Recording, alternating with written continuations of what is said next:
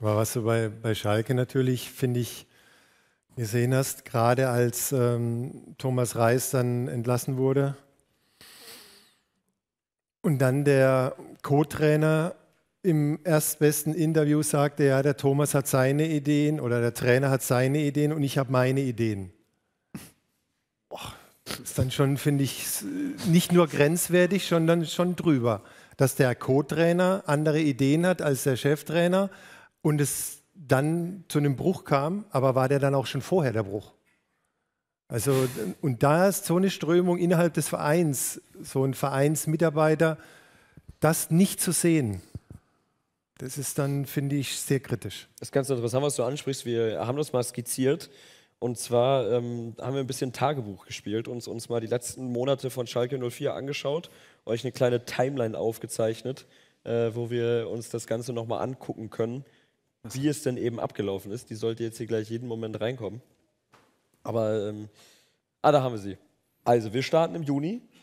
In äh, diesem Monat findet Schalke keinen Trikotsponsor, startet dann in die Bundesliga rein mit einem 3 zu 5 beim Hamburger Sportverein, haben wir gerade drüber gesprochen. Dann gibt es mit Braunschweig und Kiel relativ schnell die nächsten Niederlagen. Dann wird äh, Fährmann mal wieder aus dem Kader gestrichen. Das passiert auch ab und zu bei uns. Ähm, ja, dann gibt es die öffentliche Kritik. Du hast es angesprochen, der Co-Trainer hat es nachher gemacht. Baumgartel hat es vorher gemacht. Und äh, da können wir gleich auch noch tatsächlich nochmal reinhören. Die Reichsentlassung gibt es am 27. September und ähm, jetzt ganz aktuell am äh, 9. Oktober, äh, am 10., am 9. Oktober die Vorstellung vom Neutrainer Karel Gerertz, der ähm, ab jetzt übernehmen soll. Also es ist turbulent, es ist ein Zeitstrahl. Normalerweise kriegst du da irgendwie zwei Jahre unter. Bei Schalke sind es drei Monate tatsächlich. Oder vier sind es jetzt ungefähr. ähm, wir hören äh, ganz kurz noch mal rein in äh, die Kritik von Timo Baumgartel, die er am Ex-Trainer äh, Thomas Reis verübt hat.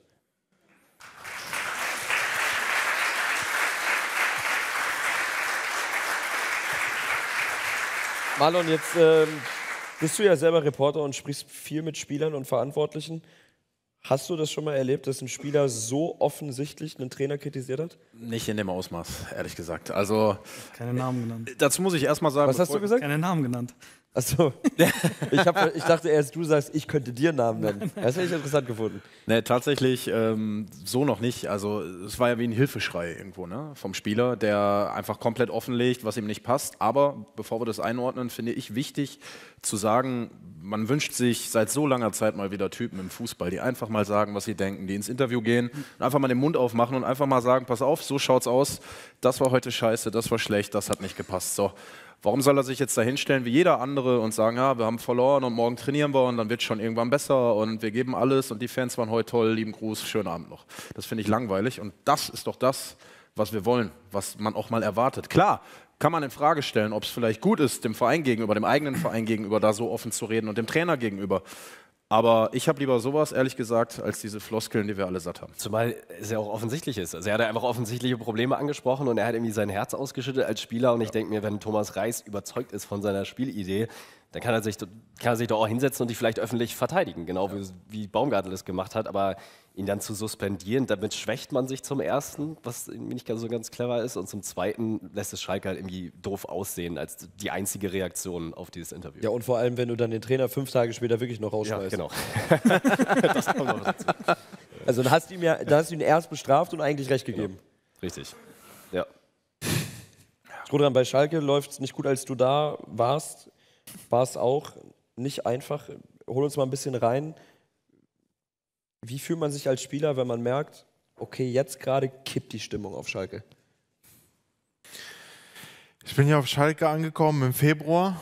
Ähm, da hatte Schalke die Hinrunde, in der Hinrunde kein Spiel gewonnen und wir hatten, glaube ich, sieben Punkte. Also ich wusste mehr oder weniger so, auf was für eine Situation ich mich einlasse. Ähm, natürlich die Kabine hatte ich bis dato nicht gesehen. Ich wusste nicht, dass sie ich bin natürlich davon ausgegangen, dass sie nicht so gut drauf ist, aber ähm, solange du nicht da drin bist, siehst du ja die Probleme nicht. Ich hatte mir Spiele angeschaut und war eigentlich davon überzeugt, dass man eine Mannschaft hat, wo man äh, sich noch retten kann, ähm, weil auch die Vereine, die über uns standen, Mainz und so, äh, die waren alle noch in der Nähe. Und deswegen hatte ich mich damals dann darauf eingelassen. Aber als ich dann halt dann äh, auf Schalke war, ich glaube, ein ganz großes Ding auf Schalke war halt einfach, ich, äh, der Wechsel war ja damals zur Corona-Zeit.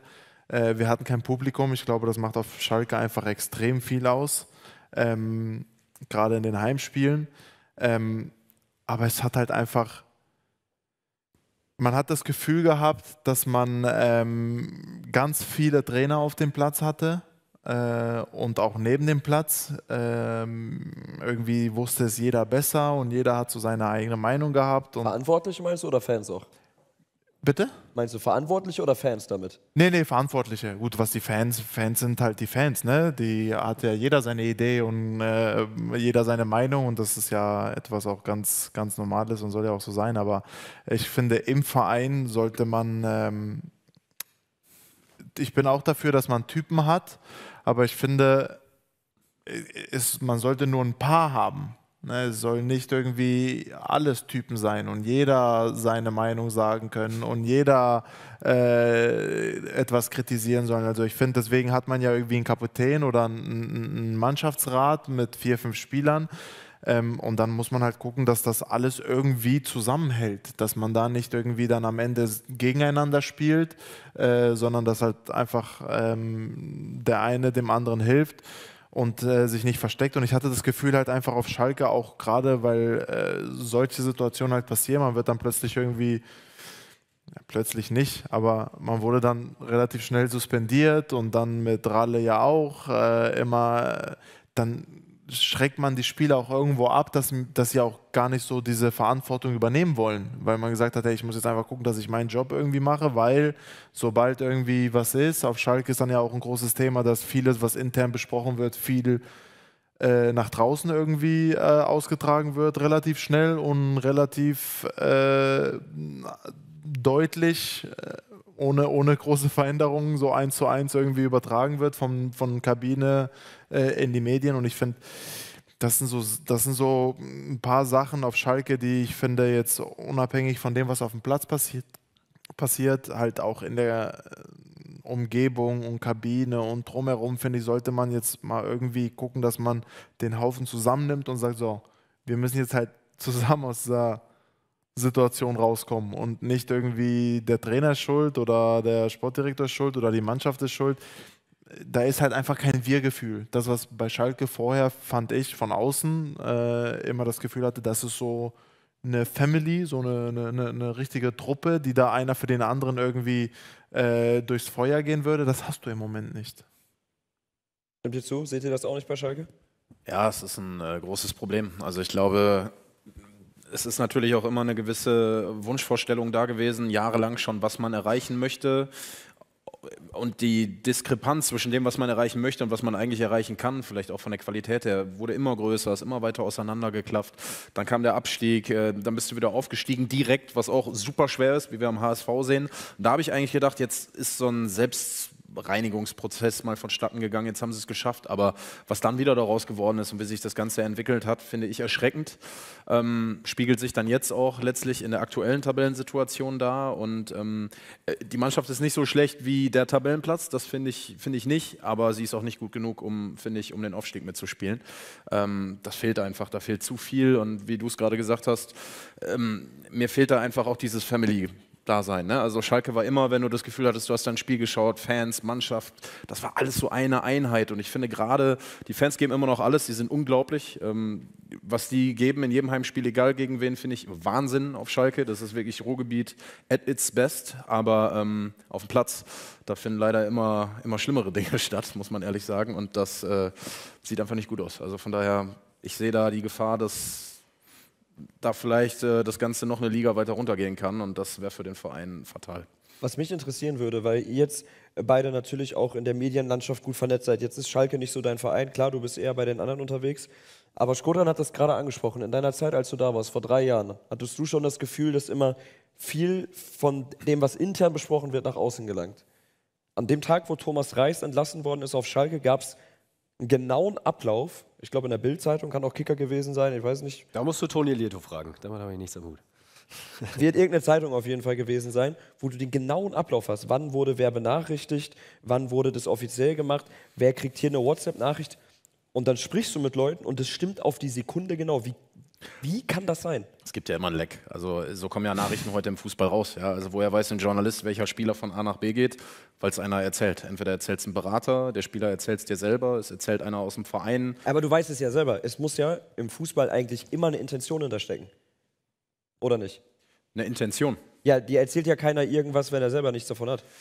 Ja, ja, genau, aber es gibt ja Leute, die da arbeiten und sich selber so sehr darüber aufregen, was im Verein passiert, dass sie mit ihrer Wut dann auch durchaus mal den einen oder anderen ansprechen und sowas vielleicht nach außen tragen. Ne? Also auch das. Hast du das auf Schalke erlebt? Also, Weil du hast es ja selber angesprochen gerade, dass du das Gefühl hast, dass Sachen zu schnell nach außen geraten. ja, also bei Schalke war, also ist es überall so, dass gewisse Dinge halt einfach auch, es ist unmöglich, egal bei welchem Verein, unmöglich irgendwie, dass nichts raus, rauskommt irgendwie. Äh, aber ich finde halt einfach, es gibt Vereine, wo es dann halt einfach extrem ist, wo du halt Angst hast, wirklich irgendwas zu sagen, weil du weißt, wenn ich jetzt mal ein Typ bin und da jetzt mal aufstehe und auf den Tisch hau, morgen steht das in der Bildzeitung. Und da sollte das vielleicht nicht hin. So, und ähm, ich finde, bei Schalke war das so der Fall. Ich weiß nicht, ich kann dir jetzt nicht sagen, wo das herkam. Ob das von Spieler waren oder ob das Betreuer waren oder wie gesagt, das Problem ist halt auch, äh, als Spieler äh, kann ja sein, dass ich irgendwie einen besten Freund habe seit 20 Jahren, aber ich weiß nicht, dass mein bester Freund irgendwie einen von da auch kennt und äh, mit ihm auch darüber spricht und der kennt noch mal einen anderen und irgendwie kommt das raus. Aber es war halt einfach komisch, dass bei Schalke einfach wirklich Sachen eins zu eins rausgetragen wurden. Das hatte ich übrigens nur, nicht nur bei Schalke. Ne? Ähm, Zu meiner Zeit bei Valencia war das ähnlich. Wir hatten äh, gro- eine kleine Diskussion. Otamendi damals war mein Innenverteidigerpartner, als er, bevor er zu Manchester City gewechselt ist, hatten wir auch das ein oder andere, ähm, die ein oder andere Diskussion äh, in der Kabine und dann wurden Sachen eins zu eins an die Zeitung mit den exakten Wörtern, die benutzt wurden in der Kabine, eins zu eins standen ja am nächsten Tag in der Zeitung. Also das Aber findet am immer nächsten Tag, wenn du in die Kabine kommst, hast du doch keinen Bock mehr mit irgendjemandem zu reden. Nee, das macht halt einfach das, wie gesagt, das Problem ist eben in einer Situation, wo, wo du halt einfach Zusammenhalt brauchst, ähm, hast du aber dann in einer Kabine so ein bisschen, wo du sagst, hm, ich muss jetzt hier aufpassen, was ich hier sage. Und weil du, du weißt ja nicht, woher das kommt. Und dann sitzt du da in der Kabine und sagst so, dann überlegst du dir zweimal, ob du eben etwas sagst oder etwas nicht sagst. Und ich finde, in einer Situation, in der Schalke ist äh, und war, muss man halt einfach gerade in der Kabine wenigstens mal auf den Tisch hauen können. Und ob das dann der Kapitän ist, der Torwart, der, der am längsten im Verein ist oder der, der die meisten Spiele gemacht hat, ist ja völlig egal. Aber wenn sich dann keiner traut, weil du Angst hast, dass das irgendwie morgen, und dann kommt es ja darauf an, wie das dann auch dort ankommt, dann wirst du am nächsten Tag plötzlich suspendiert, wenn du, obwohl du eigentlich nur etwas Gutes wolltest und irgendwie äh, die Mannschaft erreichen wolltest. Also es ist halt wirklich, finde ich, so eine Sache, die man nicht unterschätzen darf, weil die kann auch vieles kaputt machen, finde ich, in der Mannschaft. Wenn, wie gesagt, man weiß halt nicht, woher es kommt. Spieler, Betreuer, Berater, äh, Trainer, mh, Aufsichtsrat, keine Ahnung, aber irgendwoher kommt's. Und äh, das schadet im Endeffekt der Mannschaft und dem Club. Also würdet ihr prinzipiell gerade auch sagen, dass eher die Probleme rund um den Verein größer sind als das, was auf dem Platz stattfindet bei Schalke? Ich glaube, das spiegelt das wieder. Ich glaube, in einem Verein ist oftmals so, ein Verein, der strukturiert, der organisiert ist, äh, äh, spiegelt das das auf dem Platz wieder, weil du gibst der Mannschaft das Gefühl, dass alles kontrolliert ist, es ist alles äh, in Ordnung, du musst einfach nur dein Fußball spielen und ihr müsst als Mannschaft funktionieren und ihr fokussiert euch auf das, was auf dem Platz passiert. Aber wenn du immer wieder Unruhe hast, dann hast du die Unruhe, die, die trägst du ja in die Kabine, dann weiß der Spieler selber auch nicht, boah, wird der Trainer jetzt gefeuert, kommt ein neuer, äh, muss ich mir jetzt Sorgen machen um meinen Platz oder nicht? Oder was wird jetzt passieren? Und diese Unruhe trägst du einfach in die Kabine. Und ich finde, das ist für, einen, für, eine, für einen Verein wie Schalke, die in der Situation sind, wo sie sind, einfach tödlich. Und ihr redet ja unter Spielern auch untereinander, oder? Ich meine, ist ja, ist ja selbstverständlich. Du hast gerade gesagt, dass zu deiner Dortmunder Zeit Thomas Tuchel auch immer sehr lautstark in den Medien war. Man kriegt ja die Interviews auch mit, oder? Ja, natürlich. Also ich finde, dass bei Schalke schon seit Jahren ist es ja so, immer wenn man, oder wenn ich auf Schalke schaue, dann warte ich einfach, bis die nächste Bombe platzt quasi. Es ist ja jede Woche oder jeder, jeder Monat passiert irgendwas in dem Verein. Ne? Dann sei es dann der, dann fliegt der raus, dann kommt der, dann fliegt der äh, Spieler raus, ist die Situation gerade auf dem Platz scheiße, dann platzt die nächste Bombe. Und das macht, glaube ich, so einen großen Verein wie Schalke hat, so viel Tradition. Der Verein hat mit den Fans dahinter macht so ein, das kann ja kein Verein dann aushalten über vier, fünf Jahre, wenn es jedes Mal Skandal über Skandal gibt. Ne? Es muss ja mal irgendwann mal positive Seiten über den Verein geschrieben werden, aber ähm, seit Jahren lese ich halt nur negative äh, Schlagzeilen und ähm, wie viele Trainer die dann schon noch verbrannt haben dann in den letzten Jahren, das ist ja auch nochmal äh, äh, auch nochmal schlimm, finde ich, ähm, bei so einem großen Verein. Ähm, ist einfach schade, glaube ich. Ähm, obwohl ich in Dortmund lange gespielt habe, ist es trotzdem schade, so einen Verein in der zweiten Liga fast auf dem Abstiegsplatz zu sehen. Du sprichst den neuen oder du sprichst die Trainer an. Dann lass uns auf den äh, neuen äh, Trainer mal schauen. Karel Geratz, ähm, sehr interessanter Mann bei Union Saint-Gillois gewesen. Ähm, unter anderem Victor Boniface trainiert. Wir haben gerade schon äh, drüber gesprochen. Du hast gesagt, du hast dir die Spiele von Union Saint-Gillois angeguckt ähm, in der Europa League. Kannst du uns eine kleine Einschätzung geben, Marlon? Mutiger Fußball, finde ich. Also mit einer Mannschaft mit vielen No-Name-Spielern, die man eigentlich so nicht äh, irgendwie europäisch vor allen Dingen auf dem Zettel hatte, äh, bis ins Europa League Viertelfinale äh, gegangen da musst du schon mutigen Fußball spielen. Ne? Musst du vor allen Dingen auch äh, in der Offensive, finde ich, äh, gut. Mit Boniface hatten sie auch da schon einen Spieler, der alles äh, kurz und klein geschossen hat, gerade in Belgien auch wirklich unglaublich stark war. Aber sie haben auch defensiv sehr kompakt gespielt. Also mir hat so dieses Gesamtbild sehr gut gefallen von einer Mannschaft, die auch in Leverkusen mutig gespielt hat, äh, sich da nie aufgegeben hat. Also es wirkte schon so, als wenn dieser Trainer, und das habe ich mir dann noch im Nachhinein sagen lassen, aus dieser Mannschaft das Nonplusultra rausgeholt hat. Er ist ja, glaube ich, auch mit ihnen aufgestiegen und sofort Meister geworden. Äh, quasi des Kaiserslautern Belgiens. Nee, Meister ist er, glaube ich, nicht geworden. Ich glaube, doch, ich glaube, er ist einmal, meine ich, wäre er Meister geworden. Ich habe es jetzt nicht 100% auf dem Schirm, aber ich glaube schon. Ist er tatsächlich. Er ist Erster geworden. Also ich weiß es nicht, ich habe es gerade aufs Ohr bekommen. Ne? Also, so, viel, so, viel, Ahnung habe ich nicht, Leute. Okay. Er ist Erster geworden, aber dann in der Playoff-Runde. Da hat er es nicht geschafft. Ah, okay, okay, okay. Aber trotzdem ein Riesenerfolg, finde ich, ne? als, als Aufsteiger. Also von daher äh, kann ich dir die Hoffnung geben, vielleicht gelingt Schalke so sowas ähnliches. Aber äh, nein, es ist, glaube ich, schon ein Typ, der auch klare, klare Ansprachen hält, der, ähm, habe ich mir sagen lassen, taktisch genau seine Marschroute fährt. Und Schalke braucht jetzt einfach Ordnung. Ne? Und jemand, der Ordnung bringt, kann ihm nur helfen. Und von daher glaube ich schon, dass das Ganze gut werden könnte. Wir ähm, haben uns mal eine potenzielle Startelf angeguckt äh, von äh, Karel Geratz, dem neuen Schalke-Trainer, der äh, sehr gerne mit einer Dreier- respektive Fünferkette spielt, mit zwei Schienenspielern. Da natürlich ein großes Fragezeichen auf der rechten Seite, weil Schalke da tendenziell eigentlich keinen Spieler für hat. Ähm, könnte dann schwierig werden, ob es dann die, die Vierer- oder Dreierkette wird. Aber wenn man sich den Kader so als solches anschaut, ist das doch eigentlich schon ausreichend Qualität für Liga 2, oder Jens? Sollte sogar für einen vorderen Platz reichen, dass man um den Aufstieg spielen kann. Auch gerade, was ja auch schon gesagt wurde, mit, dem, mit den Fans im, im Rücken, die dann auch nochmal einen Push geben können. Natürlich kann das auch ins Gegenteil umschwenken. Das haben wir in Leverkusen oft genug äh, erlebt. Ich habe auch oft genug gesagt, wenn wir die Kölner Fans gehabt hätten, wären wir mindestens einmal Meister, aber auch einmal abgestiegen. Weil die hätten uns zum Meistertitel gemacht, aber die hätten garantiert auch einmal so Theater gemacht, dass wir abgestiegen werden. Und so eine Fanmacht, die Schalke dann auch hat, die kann dich pushen, aber in der jetzigen Situation, wenn es nicht läuft, und die werden auch unzufrieden, die fangen an zu pfeifen und äh, sie bringen auch im Chat vielleicht negative Äußerungen. Das zieht dich alles noch mehr mit runter. Deswegen der Kader, absolut. Absolut top. Besetzt finde ich, die, das haben sie auch schon gezeigt, dass sie oben in der Bundesliga auch bestehen können. Der Kader hat sich zwar ein bisschen verändert, aber trotzdem, diese, dieses Gedankengut ist ja da. Und Schalke lebt es eigentlich, das was du ja auch gesagt hast, von dieser Familie, von diesem Zusammenhalt. Wenn das aber nicht funktioniert, dann kann der Kader, Kader noch so gut sein, dann klappt es nicht. Ähnlich wie in Hamburg auch. Wenn die Fans nicht dahinter stehen, dann wird es schwierig. Was ich da noch hinzufügen kann, ich habe mich neulich noch mit einem Spieler unterhalten, der letzte Saison noch auf Schalke gespielt hat, jetzt nicht mehr. Und der hat gesagt, äh, so ein Rückhalt, trotz dieser schlechten Saison, in der du dann am Ende auch abgestiegen bist, äh, so eine Nähe zu den Fans hat er so noch nirgendwo anders erlebt und hat wirklich in höchsten Tönen davon gesprochen, weil wir sagen ja gerade, das Familiäre ist nicht mehr so da, aber wenn ich daran denke, was er so sagt, also ich glaube, diese Fans sind schon extrem leidensfähig, du wirst es bestätigen können. Ähm, ja.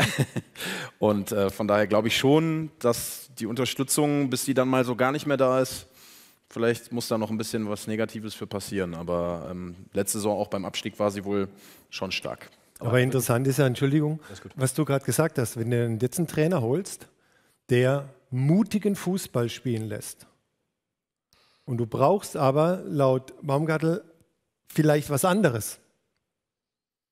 Ist es dann das Richtige, diesen mutigen Fußball, den der Trainer letzte Saison spielen hat lassen, jetzt einzuführen in dieser Situation? Oder ich kenne ihn überhaupt nicht. Ich, ich kann nichts da, dazu sagen, ob er auch sagen kann, oh, die Mannschaft braucht jetzt aber was anderes. Nicht den Fußball, den ich eigentlich spielen möchte.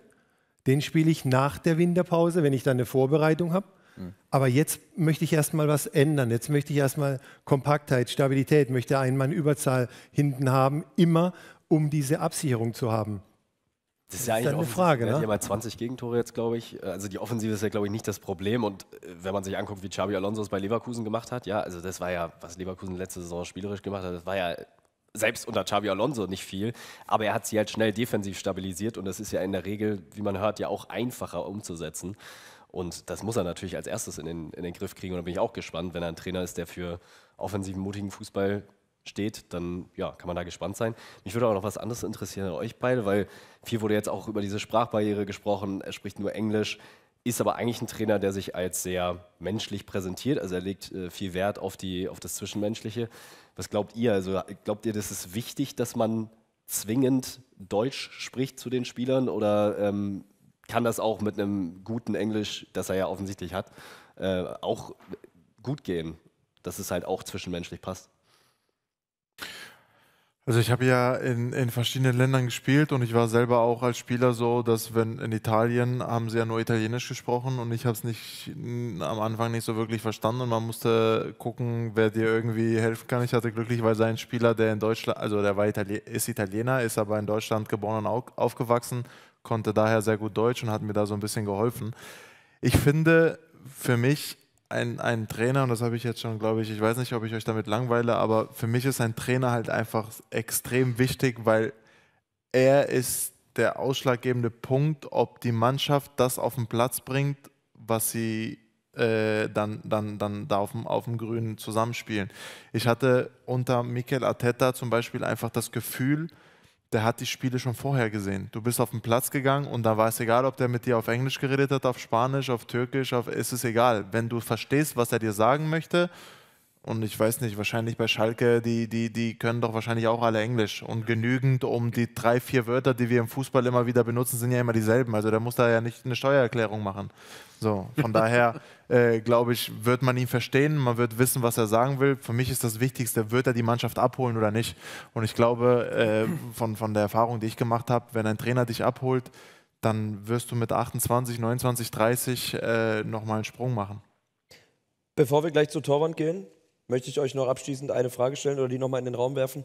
Glaubt ihr denn, dass von dem, was ihr gehört oder auch gesehen habt, Karel Geratz jetzt auch mal ein richtiger Impuls sein kann? Weil man hatte ja schon immer so ein bisschen das Gefühl in den letzten Jahren, dass Schalke dann auch, was Trainerlösungen angeht, nicht wirklich kreativ war. Frank Kramer wurde ja auch sehr kritisch gesehen, aber so aus Fanperspektive, was man jetzt hört, ist es ja mal wieder was, wo man so ein bisschen zumindest Fantasien haben kann. Der hat in Belgien was aufgebaut. Das, das ist nicht wieder der 15. deutschsprachige Trainer, der irgendwann mal vor, weiß ich nicht, 80 Jahren mal irgendeinen Verein gerettet hat. Meint ihr, das kann vielleicht auch mal in die andere Richtung gehen? Weil Skodan spricht es an. Also, ich glaube, der letzte Schalke-Trainer, der seinen Vertrag erfüllt hat, war Hüb Stevens 2002. Ist ein bisschen her. Bin ich bei dir. Also ich glaube, äh, was man ihnen jetzt nicht vorwerfen kann, ist, dass sie wieder irgendeine langweilige ABC-Lösung präsentieren, Genau. sondern es ist wirklich mal was Kreatives, es ist vor allen Dingen einfach mal was anderes. Und sie müssen mal was anderes probieren, ne? weil alles, was sie bis jetzt probiert haben, hat ja nicht funktioniert. Ähm, von daher, ob er jetzt Deutsch spricht oder nicht, äh, bin ich auch ein bisschen bei, bei Skodran, ist dann auch irgendwo vielleicht erstmal egal und unwichtig. Wichtig ist jetzt auch, Defensive stabilisieren, weniger Gegentore und dann kannst du dich um das Spiel nach vorne kümmern. Äh, da sind ja überall Baustellen. Ich glaube, Buschi war es letztes Jahr bei uns auch gesagt hat, äh, er hat es mit dem FC und Schalke hat er so ein bisschen verglichen, hat gesagt, da sind überall Brandherde. Da hast du den Brand gelöscht, dann ist da der nächste Brand, dann läufst du da weiterhin und da der nächste. Das heißt, du musst dich ja erstmal wirklich darum kümmern, dass du deine, deine Hausaufgaben wieder machst. Ne? Die Grundtugenden äh, fehlen mir da ja auch in letzter Zeit, ehrlich gesagt. Und da ist defensive Kompaktheit natürlich ganz groß. Also von daher, ähm, Ich glaube, ja, es könnte mal was anderes sein, aber es ist Schalke, ja. Und da wissen wir einfach nicht. Man hat so oft irgendwie gedacht, ah, der Trainer, ja, das könnte klappen. Na, der nicht, dann der nächste. Ah, hat auch nicht geklappt. Der nächste klappt, aber äh, man kann es ehrlich gesagt nicht mehr vorhersagen. Machen wir das Thema zu mit dem Satz, es ist Schalke. Damit kann ich gut leben.